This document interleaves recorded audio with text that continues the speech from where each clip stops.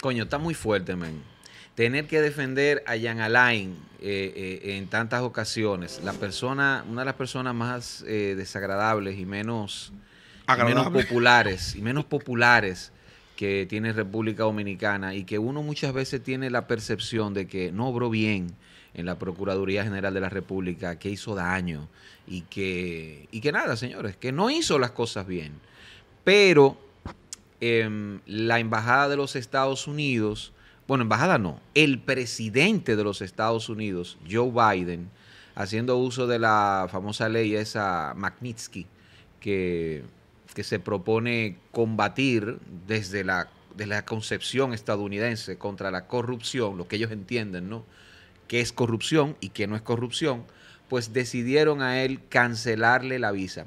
Pero no es que un país decida hacerlo, porque un país tiene todo el derecho de cancelarle la visa, el visado a un al ciudadano que ellos entiendan. No, no, no, es que lo hacen público, es que hacen un comunicado para no solamente cancelarle la visa a Yan Alain Rodríguez, sino también a su familia.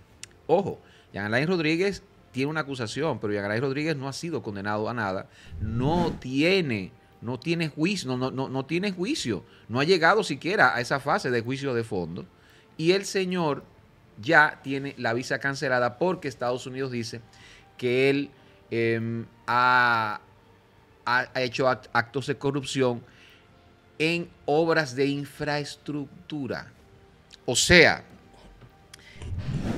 Jan Alain Rodríguez, que no fue constructor de obras de infraestructura, está ya condenado por los Estados Unidos. Jan Alain Rodríguez, que no fue el constructor, por ejemplo, de la cárcel de las Parras. Porque uno entenderá, y creo que no hay que ser un genio, ni haber estudiado en la NASA para saber, o trabajar en la NASA para saber que se están refiriendo a un cuerpo, supuestamente cuerpo del delito, que es la cárcel de las Parras. Pero Jean Alain Rodríguez no construyó ahí. Si le cancelan la visa a él, entonces ¿por qué no se la cancelan a los constructores? Y vamos a hablar claro, ¿verdad? O Lisandro Macarrulla, o el hijo de Lisandro Macarrulla que tiene la empresa de la constructora Mac. ¿Por qué no se refieren a ese caso? ¿O por qué no se refieren a las familias también que están eh, tangencialmente beneficiadas en esa construcción? Porque no es solamente la constructora Mac. Entonces, ¿qué pasa? Esa será la primera acción. ¿Habrá más visas canceladas en este caso? ¿Por qué Estados Unidos se está refiriendo exclusivamente a eso? Yo imagino que, se va a quedar, que, que la cosa no se va a quedar ahí. La verdad es que este tema es bueno para estos periodistas lambones y apologistas Me sorprendió. y apologistas del imperio anglo. De ese imperio anglo, ¿eh? que para lo, cuando le conviene, ay no, el imperio, ah no, Estados Unidos. Ah, y cuando pasan esta vaina, veo muchísimos rasgándose la vestidura y diciendo, no, que el dominar, nosotros, los nacionalistas, los dominicanos, ajá. Sigan ahí de lambones, que eso es lo que hace un imperio. Y un imperio depredador como ese. Violarlo a cada rato y violarnos. Ahora ustedes se quejan de Estados Unidos, pero la mayoría de las leyes que tenemos a partir de 1990 aquí son de los Estados Unidos. Todo el sistema, incluso procesal penal, que se ha aplicado es copiado, copy-paste de los Estados Unidos. Así que cojan ahí, coño. Sigan ahí. Tú sabes que, mira, oye, como yo veo esto, o sea, todo lo que tú dices yo, eh, es un- lo, lo- lo evidente, ¿no? Lo, lo primero que uno se pregunta, que si, si, emba- si Estados Unidos va a continuar, porque se supone que en el, en la misma- en el mismo comunicado debió ser sancionado tanto Jan Alain como los empresarios que actuaron en consecuencia. Porque entonces ellos sancionan, como tú bien dices, a Jan Alain y a la familia, a los hijos de Jan Alain. Y si hay un hijo implicado en la construcción de esa cárcel, no es el hijo de Jan Alain. Para que estemos claros. Los hijos son menores de edad. ¿Tú me entiendes? Y para colmo son menores de edad. Pero eh, yo como lo veo y como se supone que debe verlo el Estado Dominicano, es que esta actuación de Estados Unidos es una afrenta en contra del Estado Dominicano. Porque estamos hablando de que tú estás mandando un mensaje al mundo de que la justicia en la República Dominicana, que el Estado Dominicano no puede administrar su justicia. De que tú estás diciendo como Estado, Joe Biden, al presidente de la República, que ustedes saben, la, tienen los detalles, ¿no? Y el fondo de las situaciones que se están administrando aquí y que ustedes no confían en el sistema, en el Estado Dominicano. Y por, y por ende están tomando acciones por encima del Estado Dominicano con situaciones del Estado Dominicano. Es una especie de presión, ¿verdad? Una, una condena anticipada. Y olvídense del tema del nombre Jan Alain. Vámonos a lo que implica política, geopolíticamente eso. Cuando un Estado, como los Estados Unidos, dice que la República Dominicana no puede administrar su sistema de justicia, sus, leyes, ¿verdad? Es un ataque no solamente con el tema de la corrupción y de la presunta corrupción política, sino un tema de las garantías legales que pueda tener el país con relación a cualquier contrato legal, valga la redundancia. ¿Qué van a pensar los, inversionistas de la República Dominicana? Pues ven acá, si, Estados Unidos está claro que en Dominicana no se puede eh, garantizar la aplicación de las leyes. ¿Qué me garantiza a mí mi inversión multimillonaria, por ejemplo, en una empresa turística o, una inversión eh, de una empresa cualquiera de servicio o de producción? ¿Qué me garantiza a mí si en Dominicana no sirve la justicia, si las leyes no se aplican? Eso es lo que está diciendo Estados Unidos con esto. Porque Jean Alain Rodríguez ni siquiera ha sido acusado formalmente. Se estaba leyendo la acusación, no ha ido a juicio de fondo. ¿Me entiendes? O sea, cuando tú tienes un, caso, un caso así y, la embajada estadounidense se pronuncia, porque no es lo mismo, se ha hablado mucho de los otros eh, personajes, las otras figuras que están en la misma situación que Jan Alain. Pero cuando usted busca, ¿cuáles son? Eh, Félix Bautista y Rondón. Pero ambos pasaron un juicio ya. Y se fue a juicio de fondo y tuvo una resolución. Y luego de esto, entonces Estados Unidos sanciona eso tiene otra connotación que cuando usted sanciona ahora previamente a una persona que ni siquiera ha, así, ha ido a juicio de fondo. ¿Qué me late a mí con eso? Y aquí, lamentablemente, tengo que politizarlo. Aquí para mí hay una jugada política. Una jugada política, una desesperación política de, como los casos anticorrupción, como se han estado manejando desde el Ministerio Público, se han ido cayendo y esto va en detrimento electoralmente del partido de gobierno es muy sospechoso y muy conveniente que la embajada, en un caso que, como nunca antes se ha pronunciado, un caso que ni siquiera ha, llegado a juicio de fondo, venga ahora, pan, y sancione al más odiado, Jean Alain Rodríguez, en medio de un proceso que ni siquiera a juicio de fondo ha ido. Y como decía eh, Edwin, ¿y dónde están los demás? Porque tú me dices a mí que tú por lo menos para venderte de que tú estás en contra de la corrupción radical, tú sancionas a todos los implicados, Jean Alain, Macarrulla, la familia de Jean Alain y la familia de Macarrulla, tú dirás, bueno, es verdad, es una acción en contra de, la corrupción. No, es quirúrgicamente en contra de Jean Alain. Porque eso afecta a quién? Directamente a la oposición, al PLD. Entonces a mí me da la impresión, yo sospecho, que ahí están las manos políticas del gobierno metido en eso.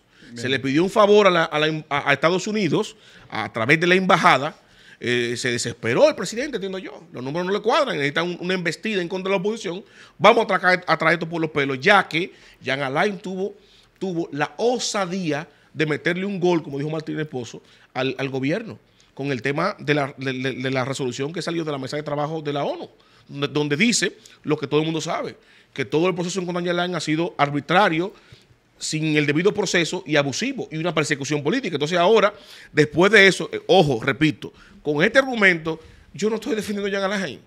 Yo estoy planteando lo, que se está viendo. O sea, a mí me importa un comino. Si usted, eh, a mí, yo lo he dicho en otras ocasiones, como sea que, que se pueda perseguir la corrupción, sea que los blancos persigan exclusivamente a los morados y sea que después los morados empiecen a perseguir a los blancos, si, hacen, si lo hacen a través del debido proceso, respetando las leyes, y garantizando los derechos, bienvenido sea Muy bien, el debido proceso, me tienen harto con esa palabra. ¿Entiendes? El debido proceso. Para claro. el debido proceso para los ricos y los políticos corruptos. No, mi hermano, es para que se garantice los presos preventivos que están ahí. Nunca conocieron esa palabra. No, hermano, hasta es que, que si cayeron usted estos tipos presos. eso, usted, eh, usted lo que está dando es la justificación al malo para que se salga con la suya. Lo hemos hablado. Ya lo hemos Porque al final, usted lo que tiene que garantizar eso. Entonces, yo veo esto, ¿cómo yo veo esto? Esto es un contraataque se desesperó el gobierno, se, desesperó el presidente, ¿verdad? Porque Jean Alain le metió un gol y ese, oh, usted es el más odiado, le mete un gol aquí con la ONU. en plena campaña electoral. No, No, yo tengo, espérate. bien, yo, tengo, yo tengo otra lectura de eso. Bien, Uno- dale. una, una de las cosas que por la cual los eh, políticos de aquí no quieren que el Ministerio Público sea independiente, independiente de verdad, constitucionalmente, es porque, porque lo- el, el Departamento de Estado de Estados Unidos tiene mucha influencia dentro de los ministerios públicos de los países satélites que tienen. Nosotros somos un país satélite de Estados Unidos. Despachan directamente con los fiscales y con los procuradores. ¿Y? Recuerden el caso de Brasil, por ejemplo. ¿Y cuál es tu punto con eso? Pero déjame terminar. Te estoy preguntando cuál es tu Pero punto. como que tú me digas, ¿y? O sea, O sea, que cuál es- que- que- que tiene que ver eso que, tenga, que despache directamente con ellos? No lo entiendo. Despachan directamente con los procuradores y los fiscales de estos países satélites, siendo independiente el ministerio o no. Pero cuando no son independientes, por lo menos el gobierno tiene cierto control. Tiene cierto control. En el caso de Brasil, todos vimos lo que pasó con, con Lula da Silva, ¿verdad? Estados Unidos y el- la fiscalía de allá, que es independiente constitucionalmente, despacharon el asunto de, de- de- de Lula da Silva y lo metieron preso. Un toyo. Bien. Un toyo. Ese es el que miedo. Jodió, que ese jodió Brasil eso. Ese es el miedo que tienen lo- lo- los políticos de aquí de hacer el, el- el Ministerio Público independiente. En el caso ahora de Jan Alain, yo, yo no creo que haya sido el presidente que le haya pedido el favor a, a, a Joe Biden. Es que, es que el Departamento de Estado de Estados Unidos está despachando directamente con la fiscalía de este país. ¿Y tú ves eso bien? Eh, vamos, espérate, estoy haciendo el análisis. Está despachando directamente con eh, la fiscalía de este país. Y si, si le hicieron un favor, no fue a Luis Abinader, fue directamente a Jenny. A Jenny, que no le cayó para nada bien que soltaran a Peralta y que soltaran a todos los que han soltado y que eh, Jean Alain con su lobby de abogados carísimo haya conseguido el asunto de la ONU. Jenny y Miriam Germán, que están colaborando con Joe Bi- Joe Biden y la agenda, aquella agenda, que no quiero abundar en eso para que no nos censuren el- el corte, que están colaborando con esa agenda, pues Jenny, Jenny fue quien le pidió el favor a, Jenny. Sí, a Joe Biden. Sí, señor. No, pero tú sí estás iluso. Claro que sí. Y además, y el argumento tuyo es, es tan- Iluso. es tan sí, iluso. Y tu argumento eh, se deja entrever de, de las pifias que tiene, porque el ejemplo que tú pones de Brasil es la gran demostración que eso es un disparate. Porque primero, Estados Unidos, tú sabes que la Procuraduría General de Estados Unidos no es independiente, es del Poder Ejecutivo. Y tú estás diciendo a mí que políticamente Estados Unidos tiene la base de despachar con las fiscalías y puede joder a un país como jodió Brasil, Sí. tracando a Lula por intereses políticos, Sí. direccionalmente, fuera del control del gobierno, del Estado popular, Sí. claro, de Brasil. Eso es un- e- ese, es, ese es el error, esa es, esa es la debilidad de tú poner un ministerio público supuestamente independiente para que venga y lo controle un país extranjero, como Estados Unidos, a su conveniencia. Y políticamente venga y tranque a un hombre inocente como lo fue Lula. O sea, tú me dices a mí que cojamos eso como ejemplo para nosotros independizar el Ministerio Público de aquí. yo, No, yo, no, pero eso, es lo que yo está estoy poniendo diciendo, es lo que está poniendo en perspectiva. el yo lo que yo lo que estoy diciendo que tú estás diciendo que fue Luis Abinader que le pidió y yo te digo no. Del gobierno. No, está despachando de- Estados Unidos está despachando directamente Ay. con Miriam y con Jenny. Claro. Porque Porque- ayer la nombraste tú. Porque Fuiste tú que diste el decreto ayer. Luis Abinader, Luis Abinader tiene un pacto con Danilo Medina.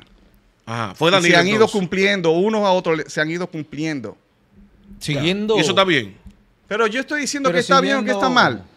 Pero ¿y cuál es tu punto? Porque tú no aterrizas, que no fue, tu punto es que no fue, que no fue el gobierno, que no fue Luis, que fue Jenny. Que eso están despachando directamente. ¿Qué con beneficio? la ¿Con quién? ¿Con las- con ¿Qué Y a, Jenny. ajá, y a? Jenny que la nombró, tú la nombraste a Jenny. Bueno, eh, no se habla. Pregunto disculpa, yo. Disculpa, disculpa. Jenny no se habla de que responde a Leonel Fernández. Y no se habla que Macarrulla es un hombre muy ligado a Leonel Fernández. A todos. Más a Danilo. a. Macarrulla lo, lo- lo- lo protegen Más a todos. Danilo. Lo- bueno, pero eh, Macarrulla tiene su historia con Leonel Fernández. Eh, ¿Me, me, me entiendes ahora? ¿Por qué? Mi hermano, sí, pero ¿Por qué pueden dejar a me Macarrulla no, fuera de, me de puedes- ahí? No, tú De- me puedes de- decir, ¿por tú me qué puedes no decir quitan la visa que el? Ministerio Público pudiera, porque aquí estamos especulando, ¿verdad? Que el Ministerio Público pudiera articular eso como estrategia, pero no es verdad que eso va a proceder sin la anuencia del gobierno del presidente de la República. Eso no es verdad que el, que el gobierno de los Estados Unidos le va a despachar una solicitud de que una fiscal por encima del que presidente. no. Oye, que no. Ah, Ok. dices tú que sí, bueno, pues si bien es felicidades. cierto, si bien es es tu punto de cierto vista, el mío que- no. Si bien es cierto que Jan Alain todavía no ha sido demostrada su culpabilidad en un proceso de corrupción y ya los Estados Unidos, el imperio, ese poder, ya está utilizando ese argumento, eso es un argumento, es una cosa muy fuerte para ellos para decirle, como este señor es corrupto, le vamos a suspender la visa porque nosotros, como somos los que vamos a orquestar la no corrupción en Latinoamérica, según ellos, entonces ya tenemos nosotros la información y las pruebas de que ese señor sí fue corrupto y por eso vamos a hacer este, esta acción contra él y de su familia. Los Estados Unidos, Norteamérica no actúan eh, superficialmente, no actúan por lo que leen en la prensa local del país al que están siendo injerencia, ¿no? No actúan porque fulano de tal que está en la oposición es amigo del fulano del perengano. Ellos no funcionan de esa forma. El imperio es más controlador de la información y se aseguran de que eso sea verídico para que ellos tengan sustento de lo que están haciendo, si no de otra manera no son creíbles. Aunque después se inventen cosas y lo puedan justificar y puedan hacer muchísimas más cosas para demostrarle a la gente que lo que se inventaron sí fue real. Pero ¿qué recibirían de beneficio los Estados Unidos de Abinader en todo caso, si seguimos el argumento de Mario, que fue el presidente Luis Abinader que fue a pedir el favor de que se hiciera este nombramiento de la embajada? ¿Qué ganaría en, en corto plazo la embajada de los Estados Unidos? El gobierno de Biden, ¿qué va, qué va a ganar? Acuérdate que también Biden está en próximo a iniciar su reelección. También va a entrar en campaña. No se sabe si realmente él va a ganar o si Trump le va a dar la sorpresa ¿Qué o no. ¿Qué ha ganado Estados Unidos de, con- No. de- de tener la mano metiendo dominicana todo el tiempo? Pero gana- gana Y muchísimo. controlando a los presidentes. pero y poniendo a los presidentes. gana, gana demasiado porque, Por eso, porque es entonces, ¿qué- información, pero entonces en el sentido, no, no, en el sentido, en el sentido de yo te voy a dar esto, Más porque compromiso son cosas. dominicana, más compromiso del gobierno dominicano, más sumisión del gobierno dominicano de turno, ¿verdad? Ante los intereses gringos estadounidenses, que se han visto por ahora una que desde que el gobierno está Bueno. sometido a los intereses Por una estadounidenses. sola persona. Bueno, cuenta, cuentan por ahí, yo no lo puedo afirmar, que el presidente Luis Abinader, muy temprano en su administración, pues habló con los Estados Unidos, había apostado al caballo errado, en el caso de Trump, porque eso fue el gran error que todavía no le perdona esta administración de Joe Biden, que apostó a Trump, y que luego de esa pifia fue a los Estados Unidos, habló con la gente del gobierno de Biden y les dijo, yo estoy dispuesto a sacrificar a la gente que no está bien, que no está en buenos pasos de, mi, de, de- de todos los partidos. Y le dijeron, sacrifica lo tuyo primero entonces. Vamos a ver si es verdad. Y lo hizo. Y yo creo que esto puede estar consono con otro favor. Miren, como yo sacrifiqué a los míos, ayúdenme ahí, háganle, hagan, vamos a callar a este tipo. Vamos a callar a este tipo ya, que está bueno, está haciendo lobby, tiene canal de YouTube, miren cómo está. bubu. Yo no lo veo descabellado. Realmente en este caso estoy como que de acuerdo con Mario, a pesar de mí. Esta es la quinta pata, Mario Herrera, José Maracayo, El Charro Bachatero, Fernando González y Edwin Cruz. Recuerden suscribirse, darle like, comentar, sobre todo darle me gusta, señores, para potenciar y para que nos presente cada vez más el algoritmo.